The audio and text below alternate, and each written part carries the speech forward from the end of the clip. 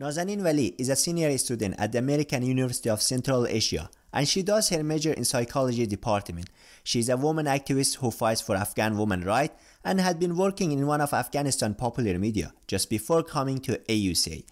This year as a senior, she writes her senior thesis on sexuality of Afghan women and so far yet her thesis has been selected as the best thesis among all the social science department.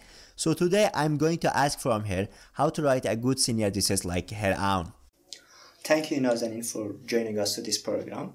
So the first question that most of like uh, student also has when they are freshman, sophomore, and, and junior, that's like they struggle to choose a topic. Mm-hmm. So can you tell us how to choose a senior thesis topic more easily? Yeah, sure. Thank you for inviting me to your program. I would like to pass my highs in regards to everyone who are the audience here. So, the basic point on having a good thesis is actually selecting the best topic in advance before you start the work. So, uh, selecting the topic is actually um, making your way to have the best thesis or to have a weak thesis. So, what you are searching for should be something valuable for the science basically what professors ask the students to select while um, they are uh, trying to select a thesis topic is uh, to select a topic which is not researched before or which is not researched in a certain context that might be changing the data or the uh, results in a way.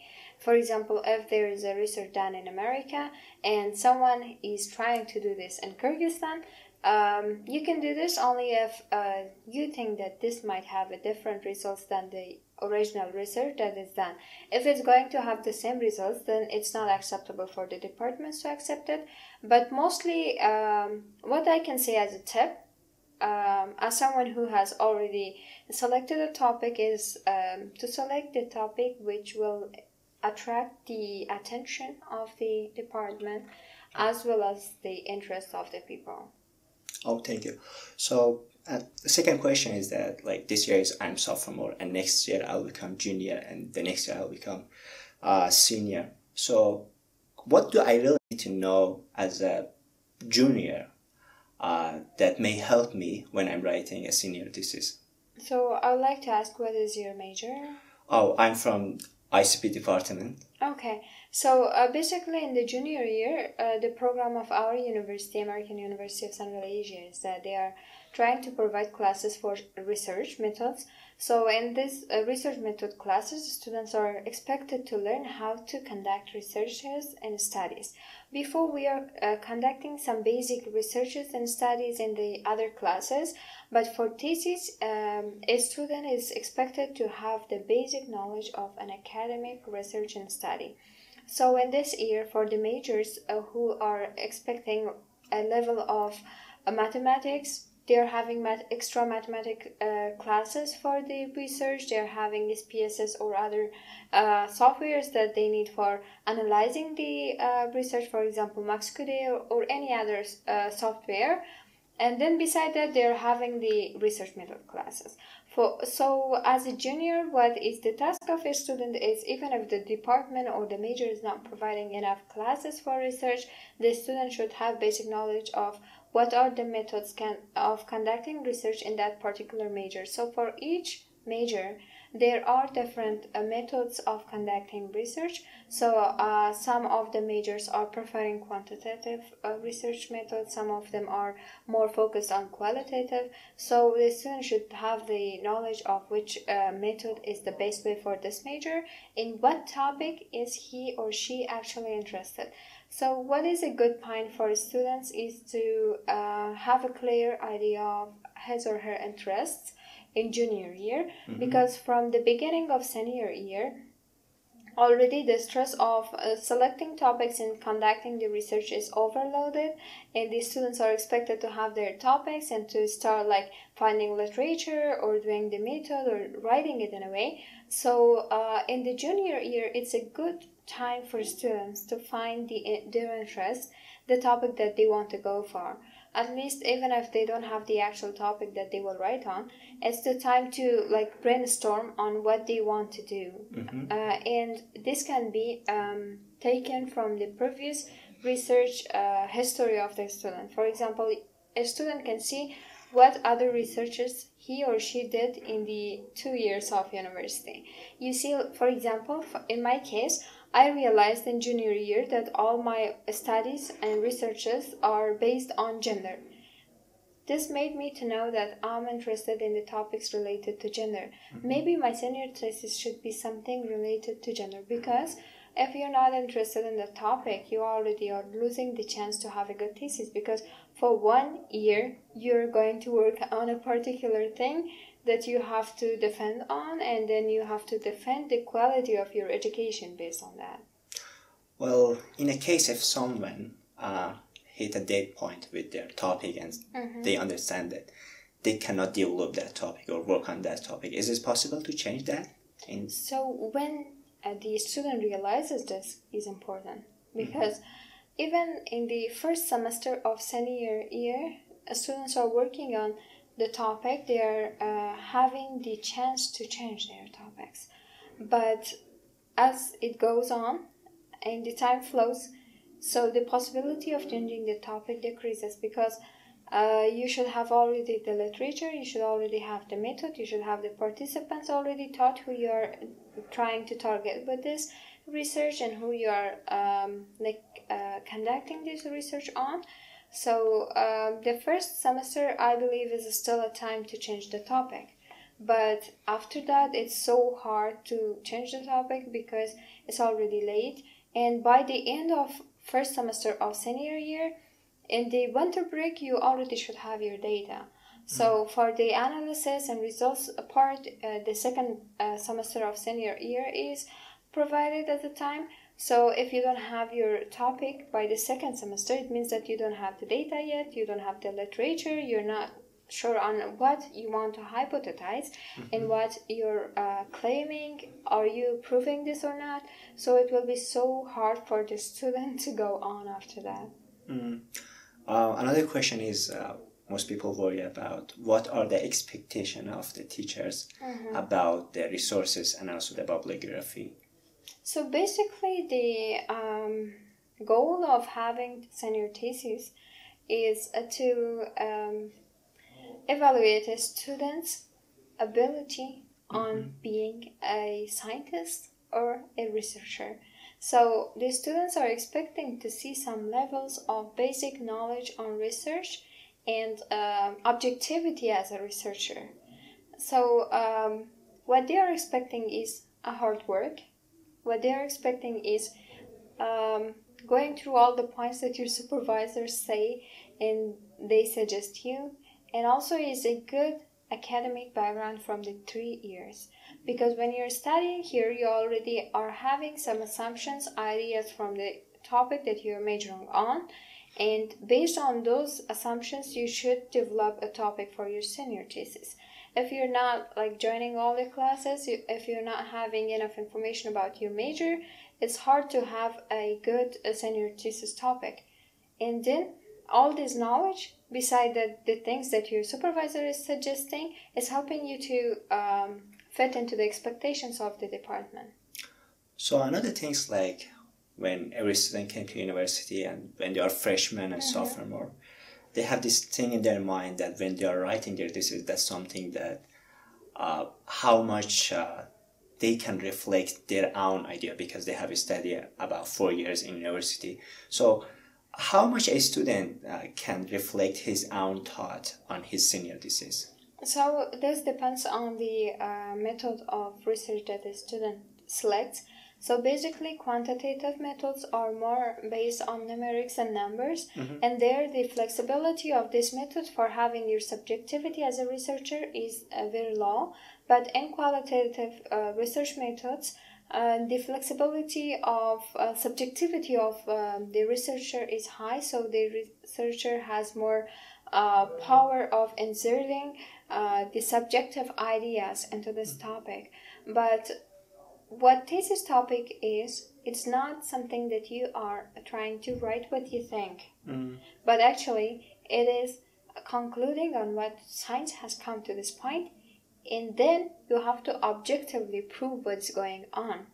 What you can insert personally is the uh, level of your ability and creativity into this topic in order to reach to that goal but not your personal objective is opinions because your personal opinions will be more valid when you're already holding a PhD degree and people are coming to your speech to have your personal opinions. But in a scientific paper, when you're writing a thesis topic, when you're writing a research or article or anything, there your personal opinions will sound very basic for other people because you are just in the bachelor level and what you can uh, have from your own personal ideas is your ability how to draw this topic into a point that sounds more scientific and sounds more objective and valid and reliable for people. Can you tell us about the typical timeline of the senior thesis?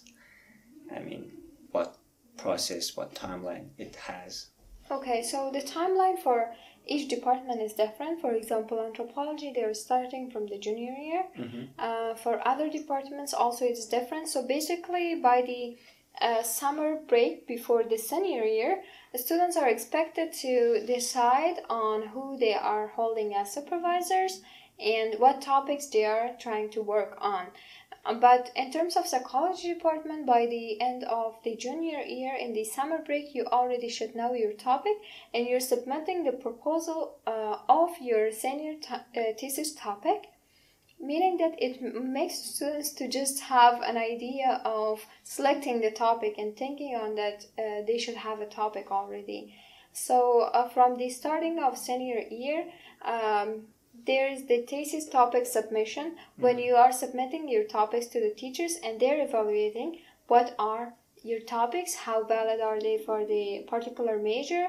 Are they something researchable doable? Is it something that a student is able to do and capable of doing it? And then based on uh, these topics they are trying to divide the students into the supervisors so basically, in each department, this is different. For psychology, it is divided based on the research interest and research uh, work of the supervisors. If some uh, supervisors are more into a particular topic and you're trying to do your thesis on that topic, you will be the supervisor of that particular professor. So uh, after that, it's the time to uh, write the literature. Find the literature and write the literature review of your topic, and also the goal of your research, the objectives, what is the problem that you're solving in this uh, thesis topic, who are your target group, and how are you going to solve this problem. Basically, in the introduction part, beside that you're writing the recent work and literature on this topic, you have to know what you want to do with res- this research. So, Basically, by goal and objectives, by aim and objectives, you should show a broader view of how your research can be used for the society. Mm. And this should be something convincible for the faculty and something real, real that they should accept okay, this is something that it deserves to be worked on and it deserves to be later on published by the university. Then, after the literature and all, you go to the parts of method so it will be the deadline for submission of the method. In this part you select how you're going to achieve this goal uh, what is your tool what is the tests or what is the other uh, like um, instruments that you're, you're using in your research. What is the language? Who are your participants? Where are you going to conduct this? And then it is the process of data collection so you have a deadline for data collection and then you should have already your data mm-hmm. and also before the data collection there will be sessions explaining how to collect the data correctly because even if you have the right literature introduction and method if you're not able to collect the data correctly your, your thesis will not be uh, successful because your mm-hmm. data will be manipulated somehow or biased then after the data collection there will be the deadline of re- writing results. So basically on the part of results, students are expected to just summarize the data that they have collected in terms of their methods of research. And then after that, and part it comes to parts of analysis. In the parts of analysis, they are trying to analyze those data. So not just summarizing what they got, but how these data are um, interpreted, can be interpreted, how this data can be interpreted by the help and support of other literature. And after the analysis part, it comes to the conclusion. So there is deadline for the conclusion. Hmm. You conclude your data. How is it? So basically, in the conclusion part, the student is expected to write the answer for the research questions. So it comes like you have to have your question, the answers for the question that you're asking in the introduction part. Beside that, you're writing uh, the limitations of your study and recommendations. In the part of limitation, the a student is expected to uh, be very scientific and objective and Mm-hmm. critically uh, a critical thinker on his or her own work. So here's the point that you should see your own work as an um, like a product of someone else or a mm. product just put there. You have to see how valid and reliable this data and this research is, and what were the weak points of this study.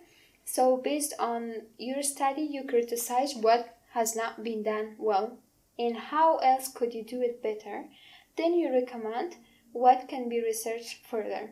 So this part of recommendation is basically a help for the other students or others, researchers, scientists, or whoever want to do research uh, to conduct more research based on this topic and based on the usage of your own thesis topic.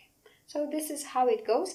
Then it, there, uh, for the psychology department, in October there's going to be a symposium, and this symposium annually they are expected to defend uh, the literature, the topic, and the method of uh, this thesis. So Oh. in October already you should have all of this, and you should go there in the symposium, which is for all social sciences, not only for psychology. You know, you have to defend it. If you got accepted from there, it means that you're able to do this uh, research. They allow you to do this. Then there is IRB committee, which is ethical committee of university. Uh, so before having the data collection, you're expected to get a permission from IRB. So in IRB a committee, uh, actually they are expecting to send this um, letter, proposal, and all requirements of IRB, which is a long list, uh, one week prior to your data collection. But what I suggest, as someone who has gone through this process, is to start it at least three months before the time that you're doing the data collection because it takes very long. They are telling that they will do it within 13, 30 or 20 uh, work days, but then they are asking you to review some parts. They are asking for more information. They're asking for more confirmation from your supervisors or professors, and it takes very long than you are expecting. And it uh, this year it turned out like some students they didn't have enough time for data collection, so it's better to start it better, like earlier, and then after the conclusion and everything, there's first draft in mock defense. Mm-hmm. So you are going to defend what you got. If you so in mock defense there are three possible results. The first one is that you're passing to the defense. It means that your thesis and your results are enough reliable and valid that you can have a bachelor's degree. Mm-hmm. The second one is that you will have 10 days to change uh, and the conditions that the committee and the jury of your department gives you have to make all of them within 10 days and the third one is unfortunately not passed, which means that you should come next year, take the senior thesis uh, class again, Wow. and write another thesis or maybe work on this thesis. Maybe the last question is uh, as your uh, senior thesis has been selected as one of the best in our social science department. Uh, can you tell us what makes your senior thesis grade that, that has been selected as the best one? Okay, so yeah, in the symposium, which was for all social sciences, in the panel of gender, femininity, masculinity, sexuality, my research has been uh, selected as the base thesis. So uh, the thing that makes my thesis interesting is the topic itself. Mm-hmm. Firstly, um, a strong senior thesis can be known from the topic, how you conceptualize the words, how you select the words for your topic is uh, actually affecting the attitude of professors, faculty towards your knowledge of the research, knowledge of the topic. The terminology of the topic itself is very important. So that's why for the topic you have to like several times meet your supervisor and to agree on. So my topic is the uh, sexual subjectivities of Afghan women, issues of sexual expression and separation. So what uh, my topic has is that firstly, sexuality in Afghanistan is a new topic. Mm-hmm. Um, however, people were curious about it, but it has not been researched before. So the plus point of this is that it has not been researched before. It is not only a gap in the um, literature of Afghanistan, but it is a gap in the literature of sexuality for the world. So, how your topic is contributing to science globally or in a um, context of certain geography is affecting how people will accept your thesis. So, your topic or a student's topic should not be something that will help only one particular part of the world, but the better is how it affects more of people, how it helps more of people. For example, how sexuality is seen in Afghanistan, for example, uh, specifically in parts of women, is something that has we don't have any literature in the world. So the previous researches that were done in this topic are either by some uh, male researchers or foreigners.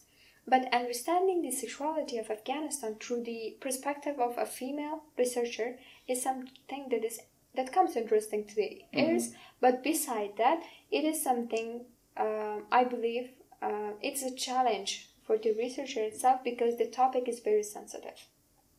Well, thank you, Ms. Nazanin. It was a very useful conversation. And thank you for all that has been passionately watching this program. And if you have any question, any idea about this conversation and also about senior thesis, and if you have any question, please write it down in the comment and Ms. Nazanin will, will try to answer that. Thank you.